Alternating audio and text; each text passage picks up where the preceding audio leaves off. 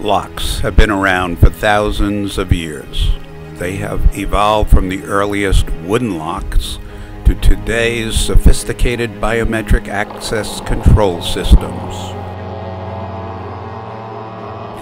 The earliest lock and key was discovered in ancient Assyria close to 6,000 years ago.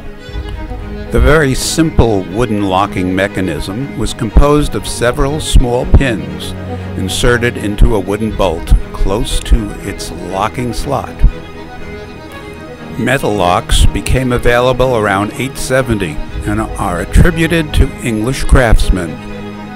In the 1800s, Linus Yale Sr. and his son improved the lock and key system with their new pin tumbler lock design. It became the basis for the mechanical locks we use today. The mechanical locks look much nicer and are much more secure, but you still need a key. Electric locks that use solenoids or electromagnets to secure the door were introduced in the 1970s. These new locks increased our security. Door access control readers are used to control the electric lock. The first readers used cards with a magnetic stripe. The next generation of door control readers used RFID cards. This is a much more secure credential, but there's still a problem of losing the card. The best type of door control reader uses biometrics such as fingerprint or facial recognition.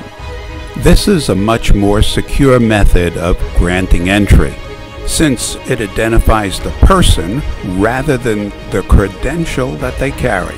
The latest fingerprint reader converts the image of the fingerprint to a code that is stored in the reader or in a computer. Since it is coded information, it's safe from hacking. Facial recognition has an advantage of not requiring the person to touch the sensor. A camera captures the face and the reader measures key facial features such as the distance between the eyes, size of the nose, or distance from the mouth to the nose. This coded data is stored in a database and used to identify the person.